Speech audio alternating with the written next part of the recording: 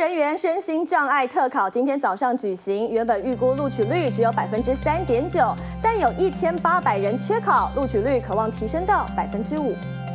不过呢，还是有超过四千七百人到场应试。今天早上考场外是下起雨来，考选部还贴心的动用大量的临时工作人员，为身心障碍人士打伞，或者是扶着他们进考场。而考试的场所也有特殊安排，像是配合视障考生，会在考桌上多特准备了一个特别的灯光；而考量智障考生，考试桌面会特别的放大，也有设置手语服务，以方便身心障碍特考能够顺利进行。